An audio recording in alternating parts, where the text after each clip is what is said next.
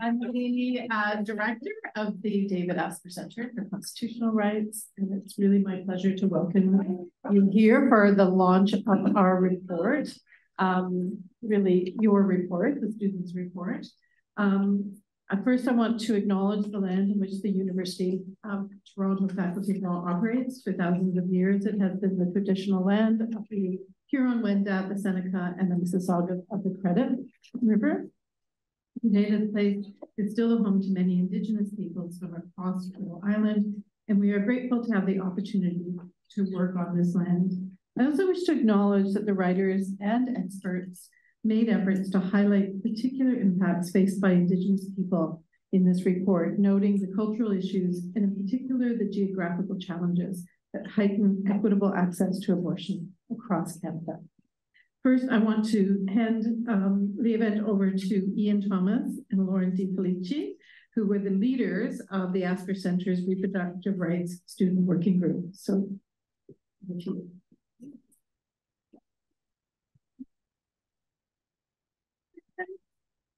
Okay, great. Thank you all so much for being here today. It means so much to us. Um, so as Cheryl said, my name is Lauren and I'm joined by Ian. So we are two of the four co-leads for the Reproductive Rights Working Group with the Asper Center.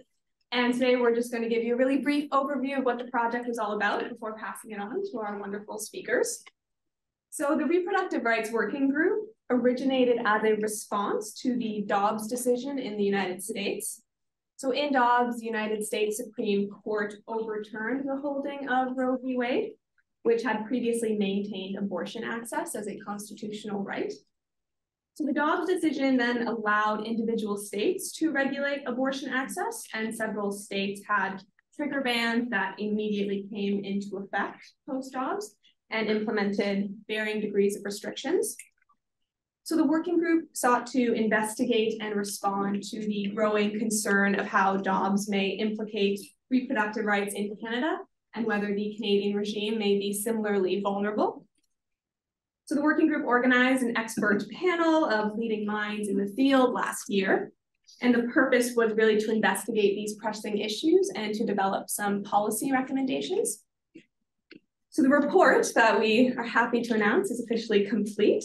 Um, it involves the research of our wonderful student volunteers and incorporates also the recommendations and the comments of our experts on the following four areas.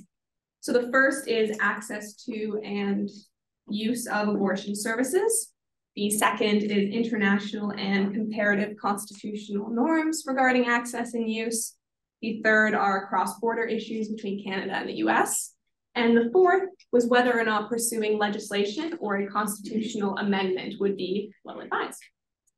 And so what we have today, uh, that's now in the public domain, is a report entitled Improving Access to Abortion Services in Canada, a What We Heard report.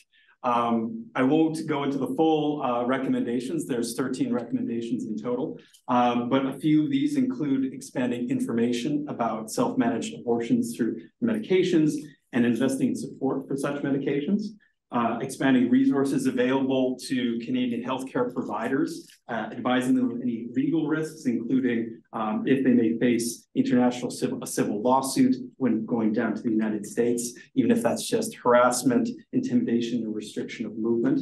Um, and one of the key recommendations uh, from this report um, that we ought to highlight is uh, it calls and advocates for a federal policy on reproductive rights, uh, complying with the World uh, Health Organization's abortion guidelines. This policy would ultimately set forth commitments and funding uh, to enhance meaningful reproductive lives to people in Canada.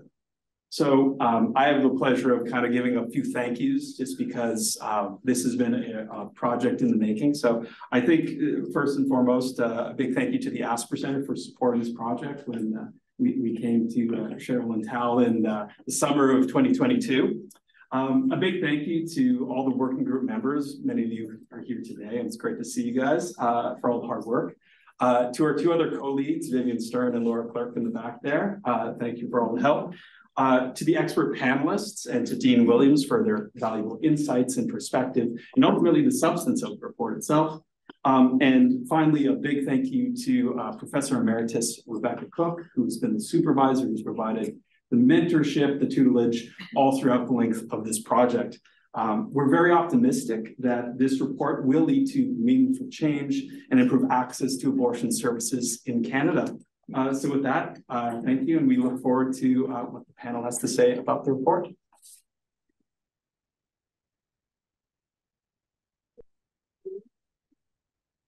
So I'm just going to here we know. Okay.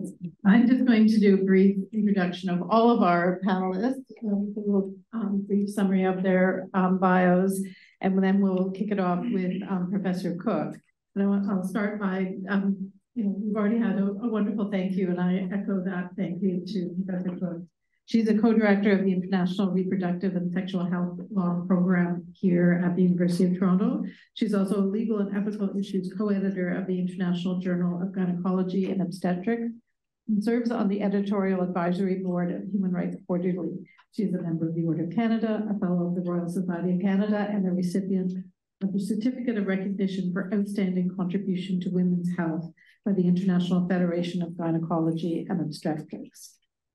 And she has a whole list of publications and they're and they're they're um, uh, referenced in the uh, uh, the back of the the report with all of the other experts. Next, we'll be speaking um, Kat Owens, who leads LEAF's Reproductive Justice Project. Her work focuses on using law reform to advance reproductive justice in Canada, particularly through LEAF's branches. The project focuses on advancing reproductive justice in Canada through provincial and ter territorial law reform advocacy, LEAF works to identify areas in need of law reform, put together reform proposals targeted at these areas and advocate for changes to achieve reproductive reproductive justice. And the Asper Center has had a long history of working um, with LEAF on various projects. Next, um, we'll be speaking um, Dean Charmaine Williams. Um, is uh, she's the dean of the uh, Factor-Inwentash Faculty of Social Work. Um, and uh, she uh, served as a reviewer of our report and gave us some very insightful comments and suggestions. Um, her research focuses on health equity issues affecting various populations, including racial minority women, LGBTQ communities, and families affected by mental illness. As a social worker in the mental health care system, Dr. Williams worked with individuals, families, and groups, and was also active in organizational change initiatives directed at increasing access for racial and ethnic minority populations. She has extensive experience developing and delivering professional education in the areas of anti-racism, cultural competence, mental health, and addiction. And I'll leave it there. There's still more to say about her, but you can read that in the report. And then finally, I want to thank um, uh, Professor Cook. Um, oh, sorry, Professor Cossman. the wrong name. the, the pink is throwing me off. That's it um, for coming in and commenting, reviewing the report, and then coming here to comment. Brenda Cossman is professor of law at the University of Toronto. She joined the Faculty of Law in 1999 and became a full professor in 2000. She was director of U of T's Mark S. Bonham Center for Sexual Diversity Studies from 2009 2018. She holds degrees in law from Harvard and the University of Toronto and an undergraduate degree from Queen's. She's also a fellow of the Royal Society of Canada and in 2009 was awarded the Mundell Medal for contributions to letters and law. Again, we'll leave it at that. Um, there's much more to commend um, Professor Kaufman, and I'll turn it first to our online participant, uh, Professor Cook, to turn off her camera and join us. Greetings, one and all. In a world where reproductive justice is really under threat, the student authors of this report and those that facilitated them are to be heartily congratulated for their leadership in challenging Canadians to prove access to abortion and abortion-related services. I want to highlight in my very brief remarks three significant features of this Asper Center report. First, its pragmatic focus on how to improve access to services and information on those services, as opposed to a narrower focus on the legality of services. This broader focus facilitates dialogue among those working on improving access, including those who are actually delivering services, those in schools of social work, schools of public health, and medical schools. So in addition to the pragmatic focus, the second focus of this report is its use of the 2022 WHO guideline. The 2022 WHO guideline, which one of the experts on this panel was very much involved with, Professor Joanna Erdman from Dalhousie, um, sets a new high watermark for international standards relating to abortion that puts women at the center. In essence, the Asper Center report explains what provincial ministries of health need to do to ensure compliance with this report.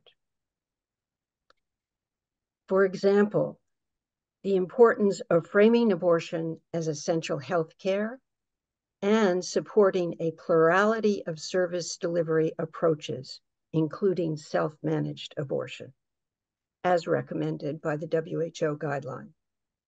Provincial compliance with the WHO report is especially important because, as the report explains, the Morgentaler decision effectively transferred abortion from federal jurisdiction to provincial jurisdiction.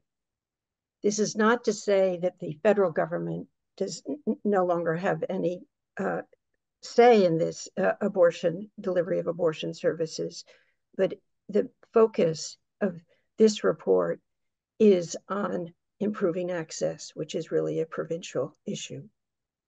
Finally, the Asper Center reports expansion of the meaning of equality in the healthcare context, whether it is gender equality, intersectional equality, or inclusive equality. The report highlights how different laws and policies disproportionately impact subgroups of women including Indigenous women, adolescent women, or, for example, migrant women, that must be done to correct these disproportionately eh, dispropor discriminatory impacts. For example, provincial laws that deny funding for abortions performed outside of hospitals or provincial policies that limit prescribing privileges to doctors and have yet to expand them to nurse practitioners, midwives, and pharmacists. There are many, many other features of this report, but it's already, this report is already serving as a model for those in other countries uh, arguing for improved access. But in the interest of time, let me end where I began with repeated congratulations to the, the co-leads and to the working group members of this project. Thank you.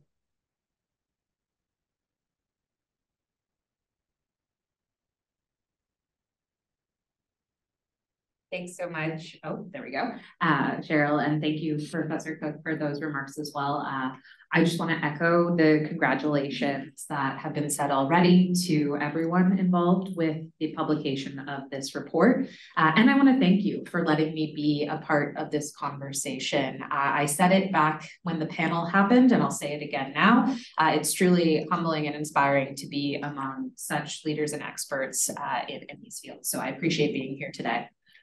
Uh, I want to talk about two things that I think are particularly noteworthy in the report. Uh, the first is how timely the report is.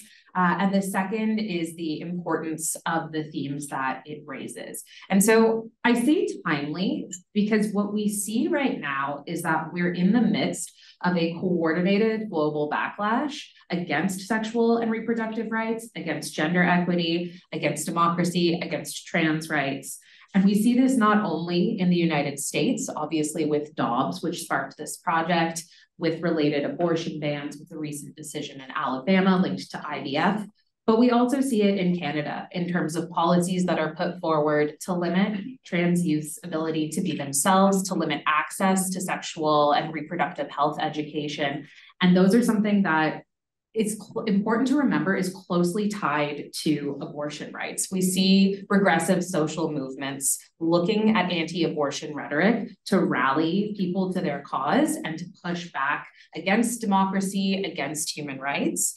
And now we're seeing this anti-trans rhetoric and action, which is obviously deeply harmful to trans and non-binary youth, but also part of this broader repressive backlash. And I think it's important not only in that context, but because so much of what happens in the Canadian conversation and in the Canadian legal landscape and the media landscape is dominated by our neighbors to the south.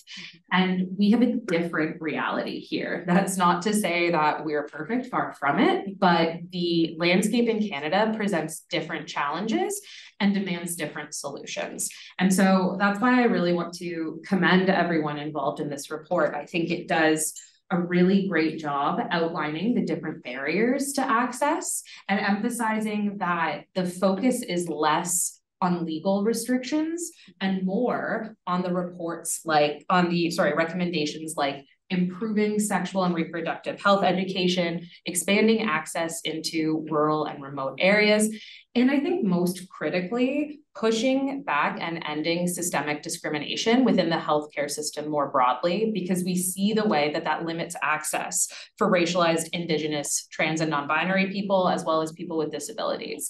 And so until you actually tackle that underlying systemic discrimination, you can spend money, you can expand services, but there will still be so many barriers. Uh, and so I'll just wrap up by uh, just plugging some work that we're doing at LEAF because um, I was told I can do that. Um, so we we're continuing to advocate for access to abortion and other reproductive health services. Uh, next week with Action Canada for Sexual Health and Rights, we're going to be launching an online resource called the Abortion Access Tracker, which is a comprehensive outline of policies, legislation, and regulations related to abortion at the national, provincial, and territorial levels. So would encourage you to check that out at leaf.ca. Uh, and just to also say that our advocacy at LEAF also looks beyond abortion. And so Cheryl mentioned at the beginning that I lead our reproductive justice project. And that's really grounded in the work of Indigenous, Black, trans advocates um, who fought for these ideas for a long time, um, Black women in the United States who actually coined the term in the early 90s. And so we're looking at how do you advocate for economic stability through things like pay equity, collective bargaining rights, access to basic income and social supports. And we really think it's important to talk about abortion, but also to have that broader conversation about how people can live lives with the supports that they need. Uh, so thank you so much. I will pass it to you.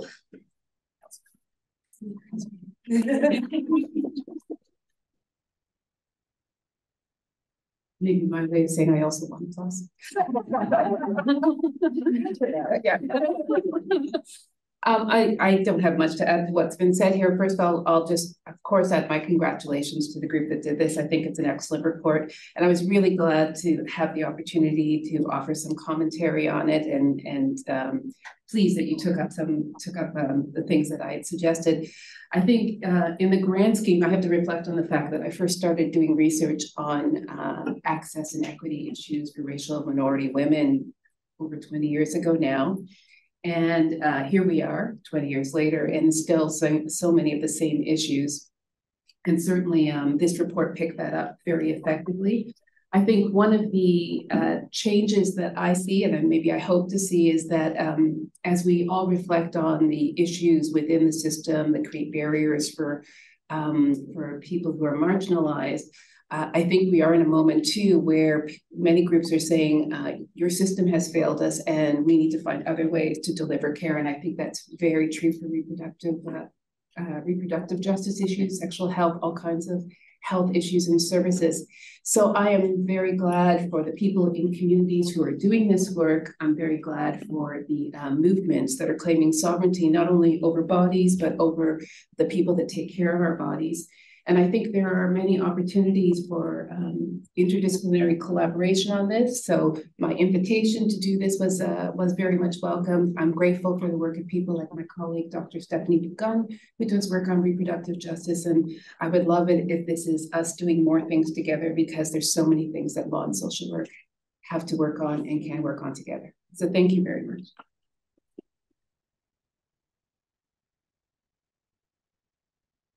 Thank you. Um, oh. So uh, can I just see a show of hands about who is part of the working group? Who's in the room? Fantastic. So I was really quite blown away by this report. Um, I was absolutely, it is a very impressive piece of work. Um, and I was reading it thinking, wow, our law students wrote this. So just congratulations. It is just really a spectacular feat.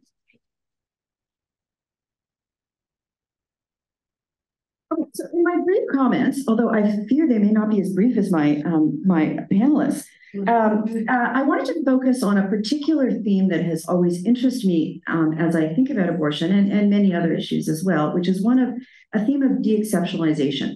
Um, so, uh, and I see this running through the report, at least partially running through the um, the report.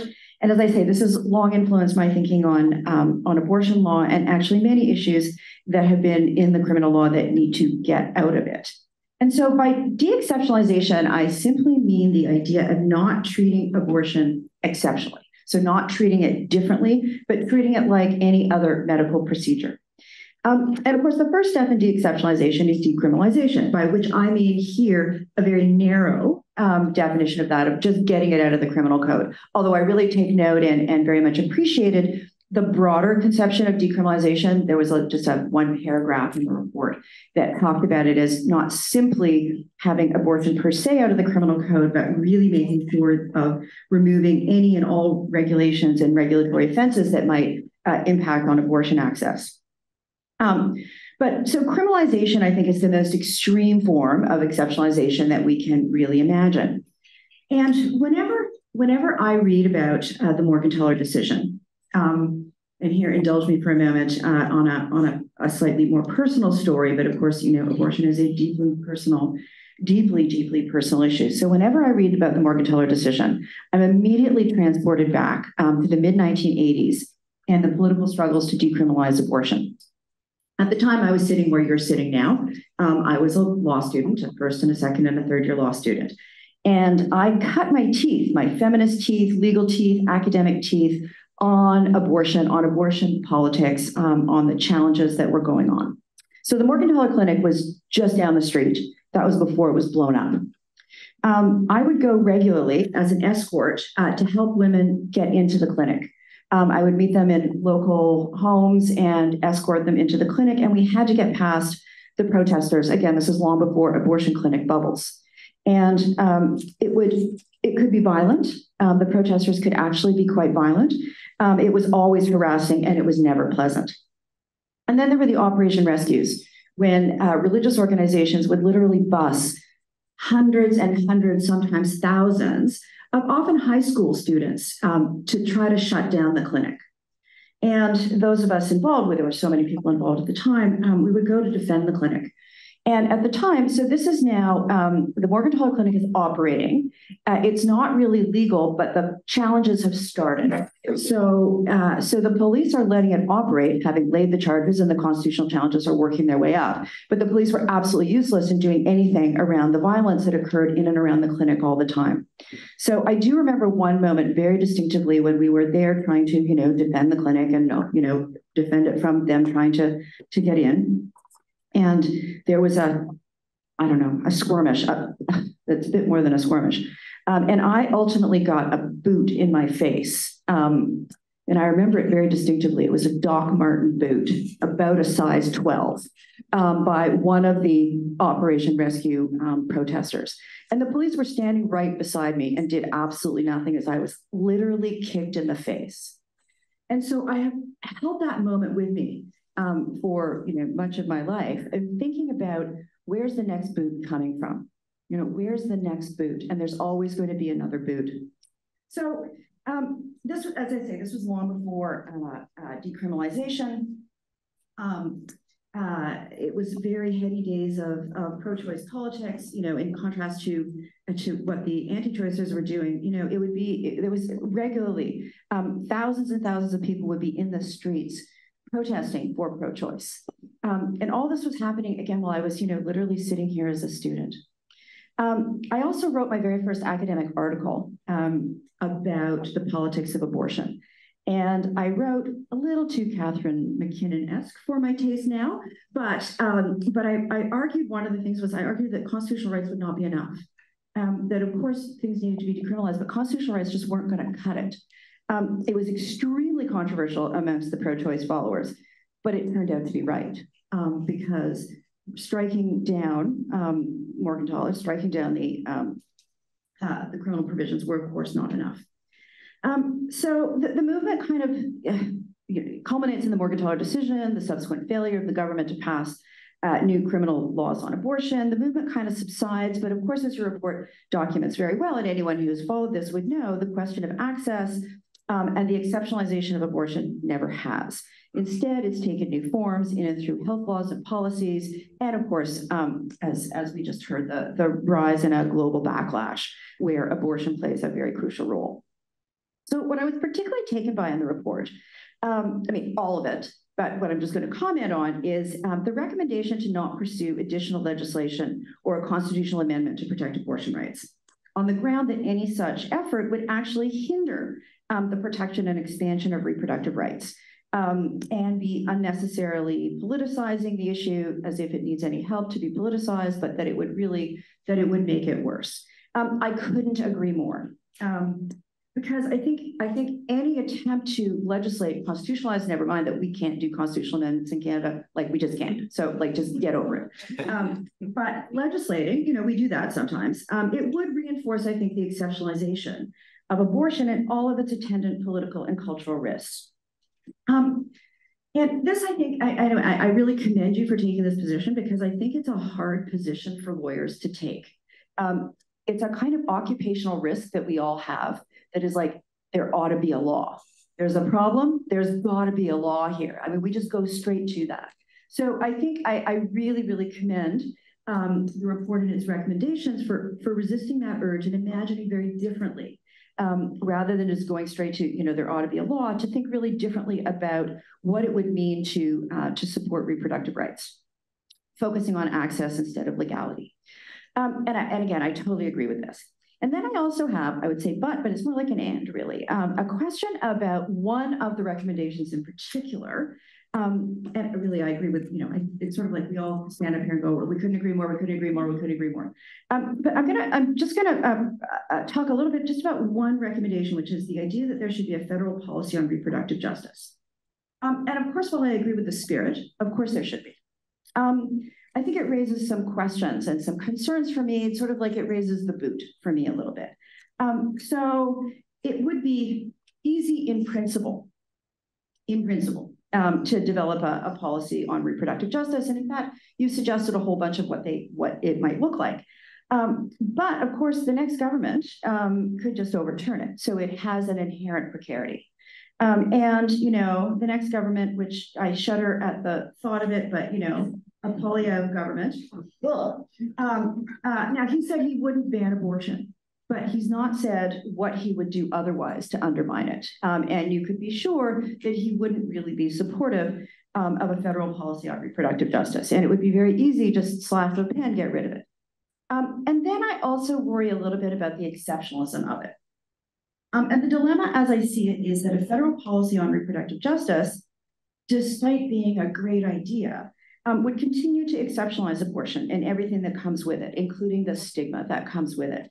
And here, you know, I go back to something that was discussed a lot in the 80s and 90s, and, and really I think it is still with us, which is this idea of the dilemma of difference, which is, you know, if you have something that is a, that is a difference, like something like abortion, which is a very specific procedure with it that is very gendered, um, uh, you can't not recognize it because it is something that needs to be recognized. But in recognizing it, you reinforce its difference, and in recognizing it, you then risk reinforcing all the stigma that goes with it. And so I'm interested in trying to think about how healthcare itself might be structured in a way that ensures access to reproductive care exactly the same way that it ensures access to all other medical care. Um, and of course, I see that as the goal of and, and the spirit of this report, um, uh, but that we really need to think about how abortion can ultimately be completely de-exceptionalized. Um, and so the idea of a federal policy on reproductive justice, I think risks actually reinforcing a little bit the exceptionalization rather than de-exceptionalizing it. And I say this recognizing that that there's no perfect strategy here, right? It's just I just think about so what are the challenges? Um, so again, I raise this not as a criticism of the report, but as one of a myriad of challenges that need to be confronted as uh, as we continue to engage in the ongoing struggle of ensuring access to reproductive um, care. And I'll stop there. Thank you.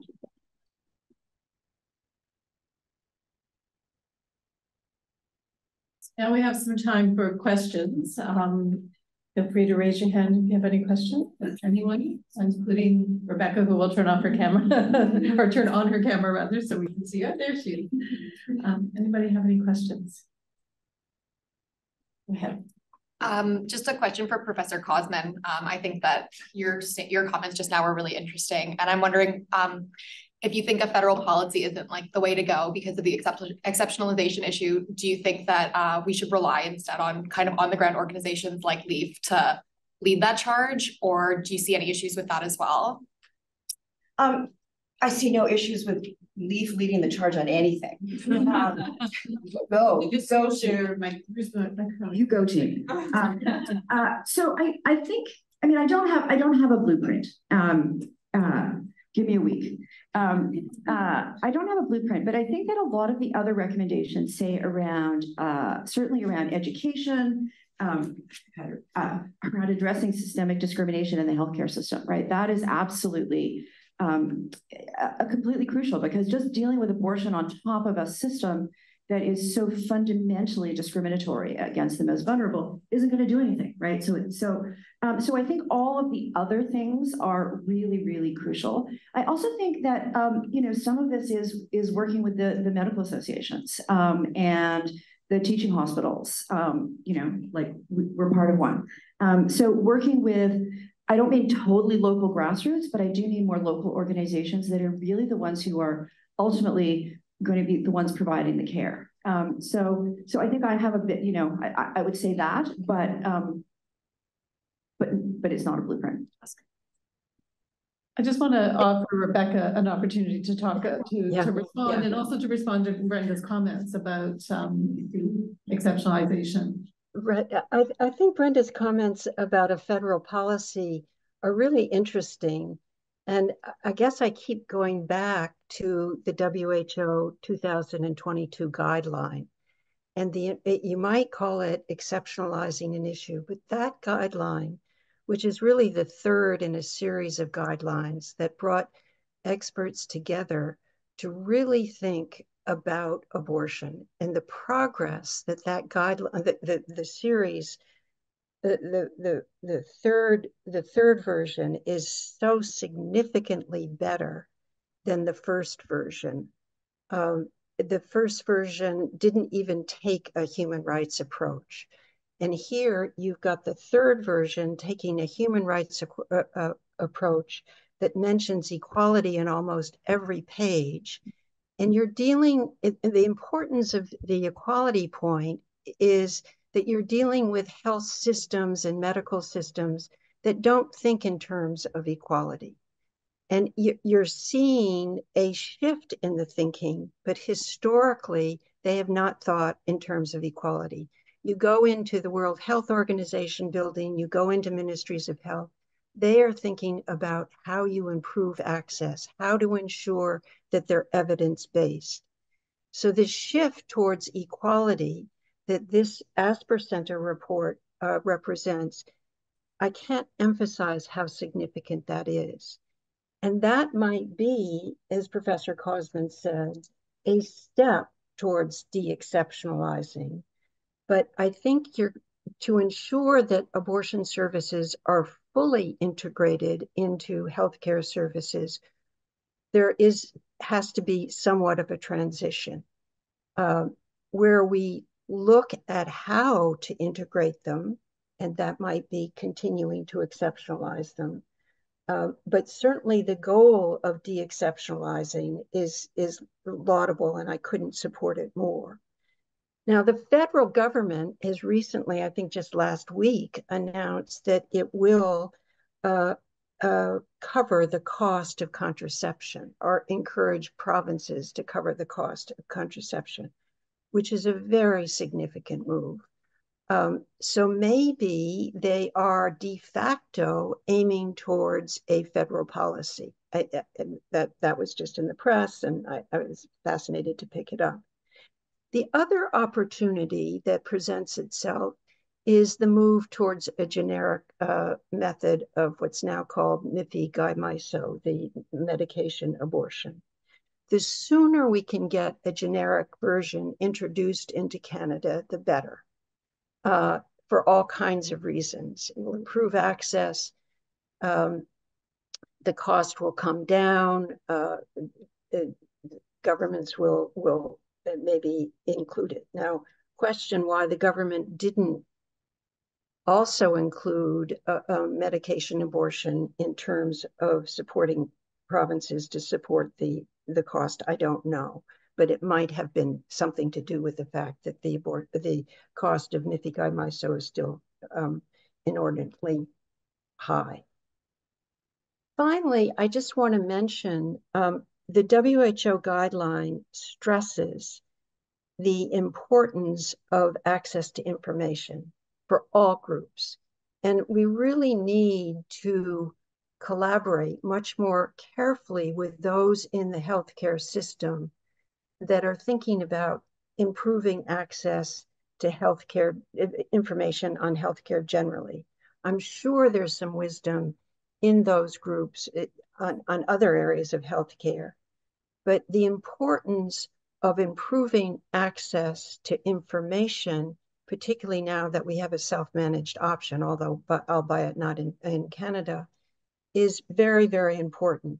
In part because um, this week, and I'll share with the working group, um, there is significant, significant online uh, harassment of, uh, of, abortion information.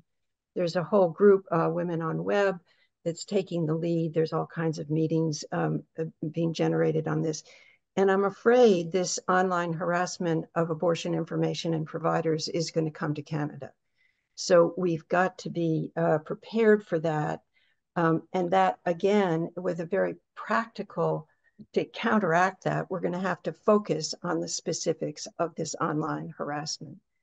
So while I, I laud the idea of de-exceptionalizing, I think we have to be pragmatic because I think for maybe the foreseeable future, we're going to have to focus on certain aspects of how abortion is being targeted. Thank you. Professor Cook, is there, does that, are there any other questions or would our panelists like to comment on that as well? Any other questions? Yep. Just to follow up on the discussion on the exceptionalization. Um, I know that France became the first country that um, constitutionally, constitutionally enshrined the right to abortion in their constitution. And I know that Professor Cossman mentioned that um, amending the constitution in Canada is like virtually impossible. I don't know that we're only talking about um, in the Canadian context, but I was just wondering your thoughts on this regional news and if you think other countries, including Canada, should follow suit. Uh, Rebecca, were you able to hear that question? Uh, no, it's something about constitutionalization, but I didn't get the, the full breadth of it. I'll just repeat that in, in reference to France recently um, constitutionalizing a right to abortion and Canada's um, difficulties in amending constitutions. What, what are the panelists' thoughts on that? Um, um, that aspect of what France has done and whether or not that's even possible in Canada that a fair summary? Who would like to? But I'll, I'll just say, I, I, the what's happening in France, I think, is very intriguing, um, and certainly creating a site where this issue is discussed, where it's constitutionalized, is is you can't deny the significance, the symbolic significance of this. Um, so in, in, in interacting with some of the people involved in framing that constitutional amendment, um, I could be, I could, I could only be supportive because it's raising issues around women's equality that's so incredibly significant, um, especially in today's world. So I, I was excited for them. Now, in the Canadian context, it's very different. Um, I, I don't I don't think there's the political leadership that would really drive this thing through. Um, I, but I'm not teaching Canadian constitutional law, but if Professor Cossman says it's just a no no go, it's a non-starter, then then it's not going to happen.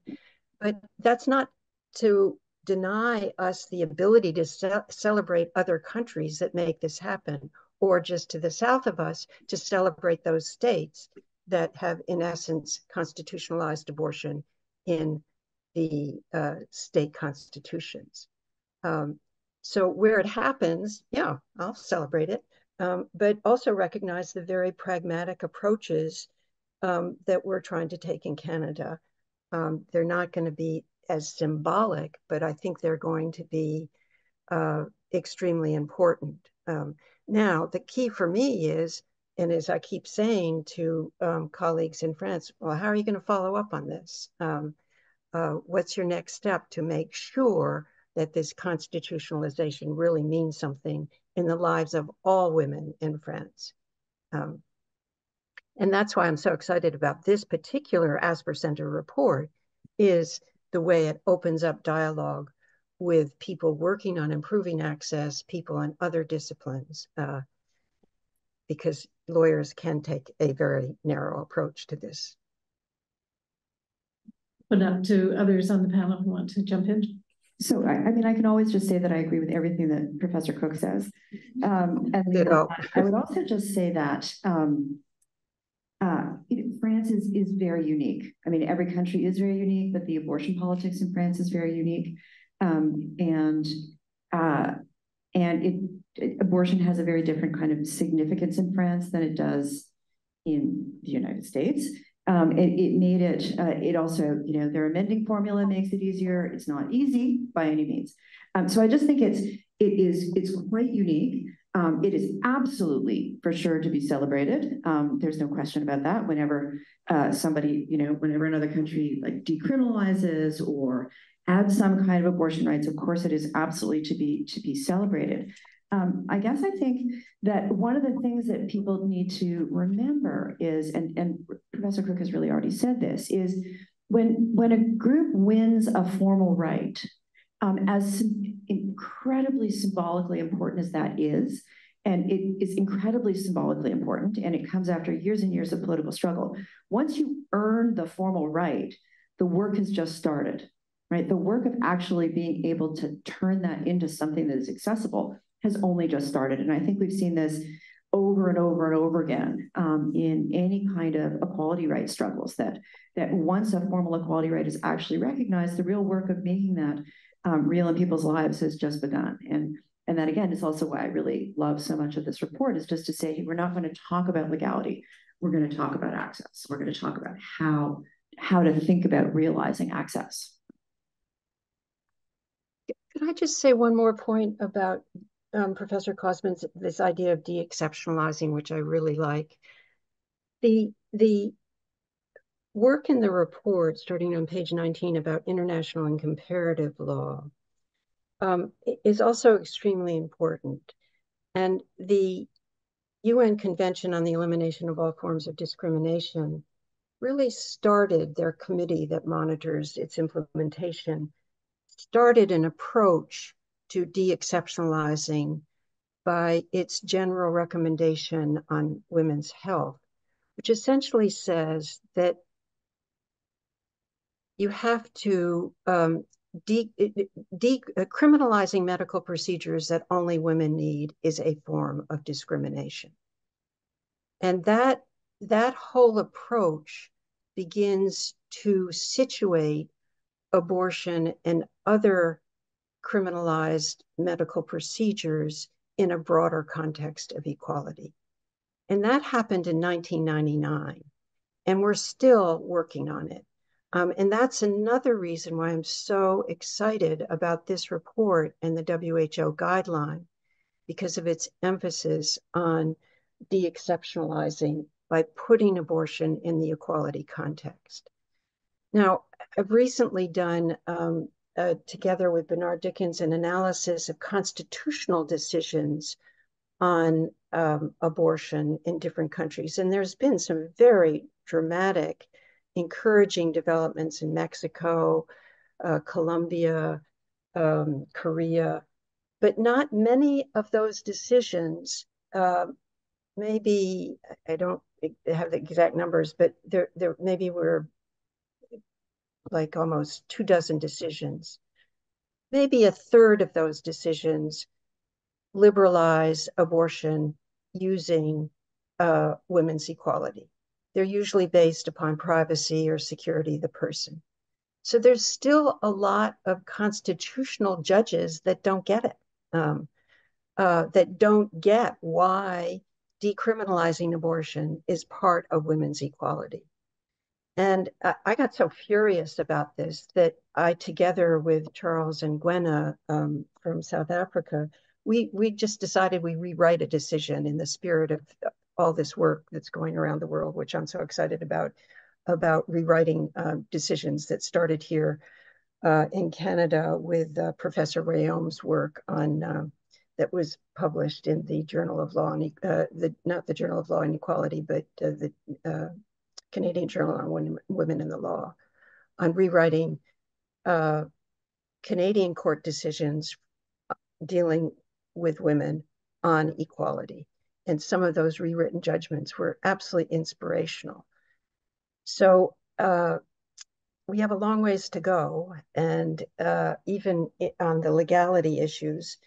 But for Canada and the context of its time, this report is is so significant. I want to turn down to Dean Williams, who's grabbed the mic. You want to jump in here? I, I just, I, I, I'm reflecting that one of the places where I thought the most about um, what you can accomplish through law versus whether that actually solves your problems is around LGBT human rights in the Caribbean. And certainly decriminalization was part of the agenda there, but it was really clear that that was not going to actually get rights for people in that region. So I, I don't know if this is a bad dean thing to do, but I want to invite my colleague, Stephanie Begun, um, to, uh, I, am just wondering if you have any comments based on the work that you've been doing around. Oh, there's so many, and I'm just so excited to see this report. Um, should I do that? Um, yeah. I'll get it, I'll get it. Yes, thank you so much for having me. This Is working? I'm Stephanie Begun. I'm an associate professor at the Faculty of Social Work, and all of my work focuses on um, expanding abortion access, particularly um, through youth-led research. So I've been working on a project through the, the CART Access Project, which is Health Canada funded over the last year, um, that's seeking to do a whole bunch of things, um, developing a virtual community of practice for providers who maybe want to get involved in abortion care provision, haven't perhaps done so in the past, but it's a remarkably easy procedure. It's not like brain surgery. It's very easy to administer medication abortion. And I think one thing in, in making uh, abortion less exceptional is just that there there, if we made abortion on demand, um, you can get it anywhere. You can get it from midwives, from nurses, and that means NPs and RNs, um, pharmacists who know what they're doing, and pharmacists being able to, to, dispense abortion care, and of course, uh, physicians. Um, but expanding the virtual community of practice, doing a lot more for continuing professional development. I'm working a lot on social workers, knowledge of um, how to refer. Uh, we often, because we're such a broad field, um, we don't train on all of the possible things that could come up in social work practice, but this is an area that we really can't be reactive on because the clock is ticking when we're talking about pregnancy. We don't have time to go out and research it. We need to have uh, resources and such at the ready to be able to refer people. Um, but I think something in making it less exceptional is um, just changing policies and regulatory bodies to make um, everyone who wants to be an abortion provider an abortion provider. Um, we see that in Quebec, midwives are already able to um, dispense medication abortion. And in pockets here in Ontario, um, there, there are some midwives in um, CHCs that a doctor signs off on it, but then they actually oversee people through the process. And it's working really well. Midwives know everything about pregnancy. Why wouldn't they know about this? You know, so I think that there are some some great opportunities there, but just encourage anyone who's interested to get in touch with me uh, about the many resources that we're providing through or that we're developing because we're about to launch many of these things, uh, patient decision aids, virtual community of practice, a lot of continuing professional development materials just to try to make um, make abortion as destigmatized and as at the ready for people as possible and and having more youth lead the charge. It's so exciting to see something like this come out of a university setting because we see such coordinated efforts around so many universities where they're anti-choice protesters. And I think we need to have a, a counter uh, to that by, by sharing reports like this, by having people who are partnering with student services to put up, you know, here's actually how you get an abortion. Here's how you, you do this, you know, demystifying the process. We need a lot more of that kind of information in campus spaces. So congratulations and, and thank you for letting me be in this space. And please do reach out if any of the things that I mentioned are of interest to you because I'd be happy to share those resources. That's great.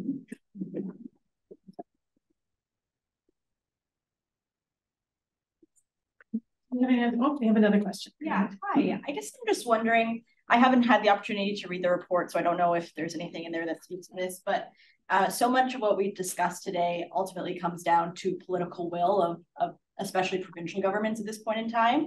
And I'm thinking right now a lot of New Brunswick and what's happening in that province. So there's obviously access issues across the country, but New Brunswick has been particularly um, problematic. So I guess I'm just wondering, given so much comes down to the political will of uh, provincial governments and whether they choose to fund clinics or, or different services or even expand um, the ability of midwives, as we've been discussing, and other practitioners to um, provide abortion services. Are there any other solutions that um, either are spoken to in the report or that you've considered that may be able to get around the political problem of not making it dependent on who's in government at the time? I'm thinking, for example, you know, I, I'm I'm not familiar with litigation in this space, but has there been any litigation to try to make the equality argument that underfunding abortion services is an equality issue um, and that provincial governments are failing to uphold equality um, for women and, and non-binary people or, or anything like that or any other solutions or thoughts on that? I know it's a bit of a big question. I want to turn that one question over to Kat. Yeah. I know that LEAF has been involved in some of those endeavors.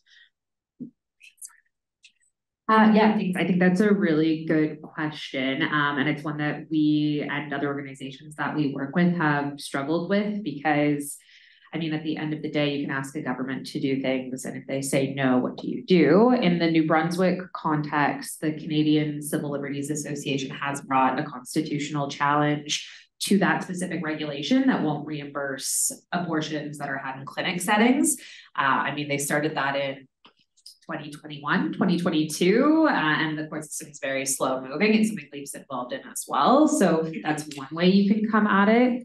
Sometimes you can try to come at it in terms of are there governments at different levels that are maybe supportive. So currently we have a federal government that is much more supportive of reproductive rights. And so advocating is that are there incentives that they can offer to provinces in terms of health transfer funds that are designated in specific areas. Um, that's, I think, an avenue that some advocates have pursued.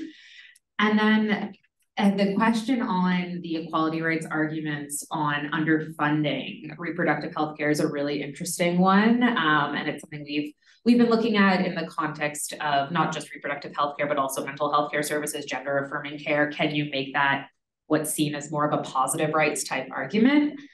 There's a lot of very bad case law in that area, um, but I don't think that that means it's not a good reason to try. And we're always trying to think about if Section 15 said it's evolving, Sharma was a bad decision, but Fraser was a better decision, and maybe we can get back to sort of a more a more uh, a wider approach to equality rights maybe then it's something that we're looking at but i it is really really challenging because i do agree with you it's political will a lot at the end of the day now we said we would wrap up at 1.30 so i just want to give all of the panelists sort of a one last shot um, if they want to add something and maybe we can start with dean williams if you have anything more you want to add to the, the conversation let's do something together about this is what I want to say is as you saw I have an excellent colleague lots of opportunities for collaboration in a very important area of work. Thank you, Brenda. Um, I would just add that, um, so having raised this question of, you know, exceptionalism, de-exceptionalization, um, I am by no means a purist. Um, I am a total pragmatist. And, uh, and I think that one of the ways of thinking about strategy of moving forward is always to just kind of assess the costs and benefits. You're going to make a decision and you're going to do something, but you're going to try to understand what some of the costs and benefits might be. So, so for me, it's like I have this little, you know, this little thing, this little voice in my head that's talking to me about, well, remember, if you're going to do X, you might reinforce Y. And it's like, okay, but we're going to do it now anyways. So for me, it's sort of putting this on the table is just just remember to think about this while you're also developing your strategy. It should never lead to paralysis. It should never lead to not doing anything. It's just, let's just think about the costs and benefits of the strategies that we're pursuing. Well, then move it over to Kat and then we'll give um Professor Cook the last word. Thanks. Um, I don't have too much to add. One of the things um, that I would just say though, in terms of de-exceptionalizing uh, abortion, reproductive health care more broadly, is that one of the easiest things that everyone can do is just to talk about it. Um, I mean, I went to Catholic school, so we didn't have sex education. Um, but like just the ability to have conversations with your peers, with your family, with people around you, with people you're mentoring, like take the stigma out of it. And that has a huge role to play in advancing rights in this area. So over to you, Professor Cook. Yeah, I'd just like to uh, follow up on Professor uh, Dean Williams's point about let's do something together and Professor Cossman's point about um, working with uh, different associations, medical, nursing, pharmacist associations, and uh, Professor Begun's point about, I stand corrected, I didn't realize that midwives in Quebec can now prescribe uh, medication abortion. And I'm wondering whether a very concrete project might be for next year and any students who want to put together a working group under the Asper Center um, auspices is to look at what it would take to give prescribing authority to nurse midwives, uh, nurse practitioners, midwives, and pharmacists in other uh, provinces um, like they now, uh, midwives now have in Quebec. That's a very, very significant step, especially in Quebec, which was the last to, um, uh, they for a long time required sonograms. Um, and finally, they got rid of that and I think it was 2022. It's cited in the report. But certainly, a concrete uh, research project around this would be really, really helpful. Uh, and something that is concrete, very pragmatic, and doable. Um, and with Professor Begun's work on access to uh, of adolescents to contraception uh, and abortion, this could be really important. So congratulations. There's lots more to do, and I look forward to following up with you when I'm back. So I want to thank all of our panelists. I also want to thank the students um, who worked so hard on this report. Um, all of you who are in the working group, but also um, our, our two leaders, uh, Lauren and Ian. Uh, I do think that this is one of the Asper Center projects that really has um, is, epitomizes our goals um, and, and, our function here at the, at, at the faculty in terms of a student initiated um, work that became a, a collaboration with faculty um, where the Asper Center was able to sort of elevate that. Um, and that what I could actually see from the beginning in terms of what the proposal was to what the actual report was a real learning on the part of the students in terms of um, having, being able to consult and to be able to consult outside of the faculty and partner with people um, outside of the law faculty. I think that, that it's been a resounding success, and I thank everybody who was involved, including our panelists today.